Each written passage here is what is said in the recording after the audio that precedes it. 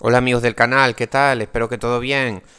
Como siempre, antes de empezar el vídeo, dar las gracias a la gente que se suscribe a este canal, que aprieta el botón de al lado de suscribirse, el botón del símbolo de la campana para que YouTube avise de cuando se suben nuevos vídeos. Vamos con un vídeo rapidito.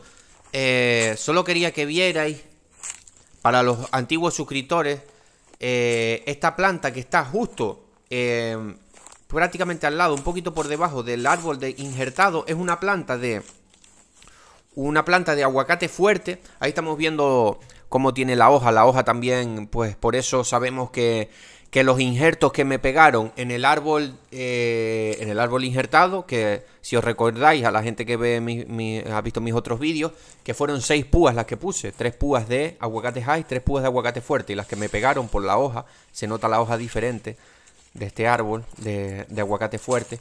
Pero lo que quería que vierais es para la gente, porque es una pena Vuelvo a nombrar el tema de, del, sistema de riego. Para que veáis cómo la planta está. Eh, también decir que ahora estamos en verano y hay nuevas brotaciones y la planta crece más. Pero esta planta está. He notado que va mucho más rápido el crecimiento después de que hice la nueva instalación del sistema de riego al poner microaspersión, ¿vale? Entonces no me voy a cansar de decir esto porque eh, pues hay mucha gente que tiene sus árboles de aguacate con riego por goteo. No estoy diciendo que, que, sea del todo malo, pero en la práctica, en lo que yo he visto, es mucho más recomendable poner un sistema con microaspersión. Si tenemos eh, pues huertas, si son llanas, pues mejor. Si no, podremos hacer también algún algún camellón, algún algo, con la tierra para que no se, se, se, derrame el agua, ¿no? Y drene para abajo para las raíces. Pero bueno, no me quiero liar. Claramente funciona mucho mejor el sistema eh, después de que le puse los microaspersores. Las plantas están creciendo mucho más rápido. Ahí tenemos la prueba con esta planta y nada. Eh, como he dicho, estoy un poco lesionado. Esta planta ya deberíamos de hacerle una poda, una pequeña poda. Como digo, hay gente que me pregunta en los comentarios eh, cuándo podar, cuándo no podar. Nosotros siempre vamos a estar haciendo podas suaves, podas suaves a lo largo de todo el año. Yo prácticamente cada dos, tres meses hago hay que tener cuidado porque a veces vas, cortas una rama que tiene fruta y eso no, no es lo, no queremos eso, ¿no? Pero siempre vamos nosotros a estar sacando alguna rama para que nuestras plantas, por ejemplo, esta planta pequeña, para no ir mucho a, otra, a otro asunto. Por ejemplo, en esta planta pequeña nosotros vamos a irla formando. O sea, nosotros no... Por ejemplo, ¿qué podemos hacerle a esta planta? Ya grabaré un vídeo cuando me recupere eh, haciéndole la poda a esta planta. A una, una pequeña poda. Tampoco está tan tan mal.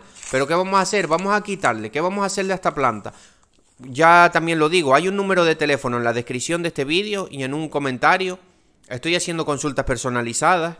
Ahí te diría más o menos cómo tienes que podar te diría sobre temas de fertilización. Cualquier cosa me escribís a, no sería de una manera gratuita, pero sería por un precio económico. Eh, cualquier cosa me escribís a ese número de teléfono, está en, la en, un, en un comentario y en la descripción. Me podéis preguntar. ¿Qué, ¿Pero qué haríamos aquí? Aquí, ¿qué haríamos? Aquí, por ejemplo, lo que haríamos en esta planta, que tampoco está porque yo he, realizado podas, eh, como el aguacate fuerte, esto es una variedad fuerte, ¿no? No tiene diferencia de, por ejemplo, el aguacate Hass, que el aguacate Hass va, tira mucho hacia, hacia arriba, hacia el cielo. Entonces este no, no tira tanto hacia el cielo y, y es hasta un poco más fácil de, de manejar esta, esta variedad. Porque va también más hacia los lados, que es lo que queremos, no tener plantas demasiado, demasiado altas porque, ¿qué pasa con las plantas demasiado altas? Vamos a decirlo rápido. Plantas demasiado altas. Cuando hay un viento se zarandean más las ramas. ¿Qué significa eso? Que se te caen más aguacates al suelo. Segundo, eh, cuando das las fumigaciones no llegas bien a las puntas de los árboles. Otro punto negativo. Tercero, em, más tiempo para recolectar los frutos. Tienes que estar ahí subiéndote por las ramas eh, o con un, un jamo se llama aquí. Eh, con un palo de estos que, que, se extiende para coger la fruta. Mucho tardas mucho más, tardas mucho más en coger la fruta. O sea, el tiempo es dinero. Si tú pagas a alguien para que te ayude a recoger los aguacates o lo que sea, o tu, o, tu tiempo, pues eh, al final también son más gastos. Peligrosidad de que te puedas caer de un árbol, sobre todo esta, no nos olvidemos de esta. Entonces siempre vamos a intentar hacer podas en los árboles para controlar un poco la altura. Aquí, ¿qué es lo que vamos a hacer? Para no hacer vídeo muy largo, vamos a recortar un poquito las ramas que están hacia abajo, tocando el suelo, para que haya aireación por abajo. Y alguna que otra rama, de momento las dos puntitas esas quizás las podemos dejar así, no, no voy a despuntar. Y vamos a quitar alguna que otra ramita por el centro, para que tengan un poco más el centro más aireado y las ramas de abajo, las ramas de abajo que están tocando el suelo, eh, vamos a sacarlas. Mm, todas las ramitas esas que están tocando el suelo. Eso ya lo grabaré en un próximo vídeo. Pero bueno, a lo que vamos en este vídeo es que, que sí, que va mucho mejor con un buen sistema de riego microaspersión o aspersión porque se desarrollan mucho más mejor las raíces y buen sistema radicular, lo que está bien abajo, o sea, lo que, si las raíces están bien, eh, la parte de arriba eh, pues también va a estar bien y se va a desarrollar mejor.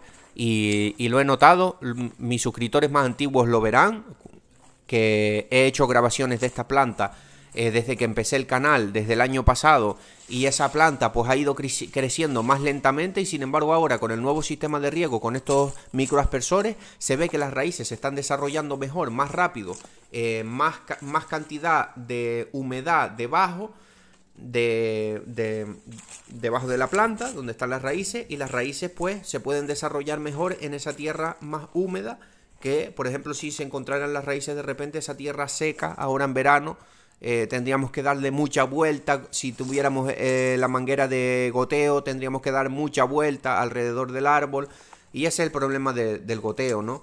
Entonces, pues nada, para que sepáis esto, espero que les haya gustado el vídeo, para no alargarlo mucho, y un saludo.